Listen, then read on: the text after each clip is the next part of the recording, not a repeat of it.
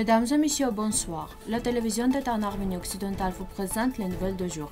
Le président de l'Arménie occidentale, M. Armenak Abrahamian, nous devons reconstruire l'État arménien ensemble. Le lac Archak en Arménie occidentale risque de se sécher. Nicole Pachinian, l'Azerbaïdjan refuse pour la deuxième fois de tenir sa promesse de libérer les prisonniers de guerre arméniennes.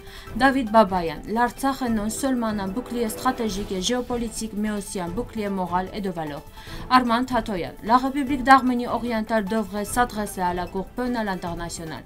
Le président de l'Azerbaïdjan devrait être soumis à une responsabilité pénale internationale et à des sanctions. Le symbole de l'Is dans la culture de l'Arménie occidentale. Dans le cadre de la 7e conférence de l'UNESCO, les questions relatives à la protection du patrimoine culturel de l'Artsakh ont été abordées. Le président de la République d'Arménie occidentale, Armenak Abrahamian, a présenté les défis de l'Arménie occidentale, mettant en avant la question de la sécurité comme une priorité, proposant avec les Arméniens de l'extérieur de restaurer l'État arménien. L'objectif de cette conférence est de comprendre la situation afin de proposer des solutions appropriées. Le président a suggéré d'utiliser l'autochtonie de la population arménienne comme lien fondamental à notre programme politique, car après le génocide, le lien entre l'Arménienne et sa sa patrie a été rompue, et l'Arménien ne pouvait préserver son statut d'autochtone que par la langue et la culture. Il a également noté que les falsifications délibérées de l'histoire ont participé au génocide, et ce processus se poursuit également aujourd'hui, de sorte qu'avec ces mauvaises décisions, le travail et l'énergie l'alimentent, les falsifications, le peuple arménien accentue un processus d'autodestruction, parce que l'Arménie n'a jamais réussi à restaurer son statut d'État d'une manière juste et équitable. Monsieur Abraham Damian a également noté qu'il y a des crises et des problèmes. Il y a des problèmes d'histoire, d'identité à l'origine des défis. L'autochtonie nous aide à comprendre notre essence et cette essence façonne aujourd'hui notre politique. Le discours complet de M. Armenak Abrahamian est disponible sur notre site web. Le lac Archak, situé à 30 km à l'est du lac Van, en Arménie occidentale et qui est la zone la plus riche de la région en termes d'oiseaux, a perdu beaucoup d'eau en raison de l'impact du changement climatique mondial. Le lac Archak, qui est l'habitant d'environ 230 espèces d'oiseaux en Arménie occidentale et appelé paradis des oiseaux, a été confronté au danger que le retrait de l'eau dans les zones de roseaux affecte considérablement la population d'oiseaux.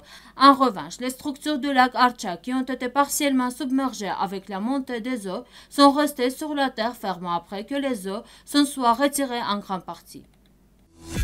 Pour la deuxième fois, l'Azerbaïdjan refuse de tenir sa promesse de libérer les prisonnières de guerre arméniennes.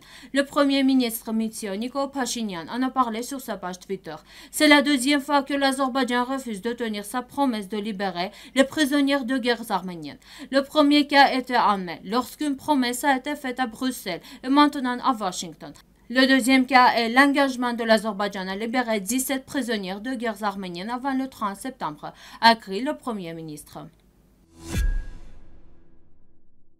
L'Artsakh est vraiment très lourd. C'est un bouclier qui protège l'Arménie depuis des siècles et assure la sécurité du peuple arménien. Le ministre des Affaires étrangères de l'Artsakh, M. David Babayan, l'a écrit sur sa page Facebook, soulignant que ceux qui considèrent le bouclier comme un fardeau sont condamnés. L'Artsakh est vraiment lourd. C'est un bouclier qui protège l'Arménie depuis des siècles et assure la sécurité du peuple arménien. Et le bouclier est lourd. De plus, l'Artsakh est non seulement un bouclier stratégique et géopolitique, mais aussi un bouclier morale et de valeur. Mais un tel poids peut-il être un fardeau? Ceux qui considèrent le bouclier comme un fardeau sont condamnés et l'histoire connaît de nombreux exemples de ce genre. Message sur Facebook d'Armand Tatoyan, directeur du Centre pour le droit et la justice de la Fondation Tatoyan. La République d'Arménie orientale devrait s'adresser à la Cour pénale internationale en reconnaissant la juridiction de la Cour. Cette agression de l'Azerbaïdjan contre la CIE dans les conditions de ces crimes de masse doit être réalisée le plus rapidement possible.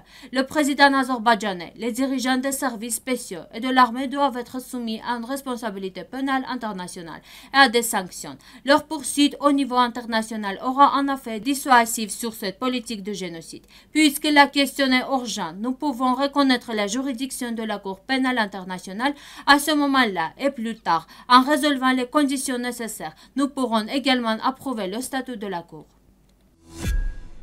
Dans les miniatures arméniennes, les ornements ainsi que dans les travaux d'aiguillé et le tisage de tapis, on trouve souvent des motifs recouvrent le lys. Les exemples les plus frappants sont le motif de coupe de Bardakli de la broderie Marash, la sculpture décorative du monastère d'Arjot de 1270, les motifs de royaume de tapis Djurabert Khachen de 1850 et de nombreux autres exemples.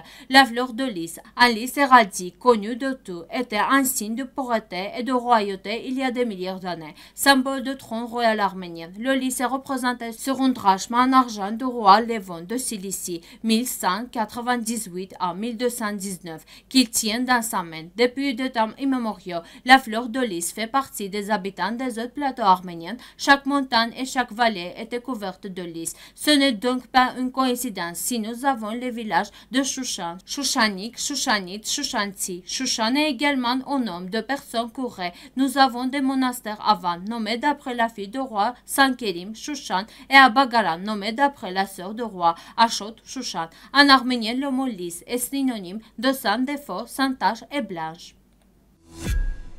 Monsieur Vahram Doumanyan, ministre de l'Éducation, des Sciences, de la Culture et des Sports de la République d'Arménie orientale, a rencontré Valérie Freeland, directeur exécutif de l'Union internationale pour la protection du patrimoine dans les zones de conflit, en marge de la conférence mondiale de l'UNESCO sur la politique culturelle et le développement durable à Mexico.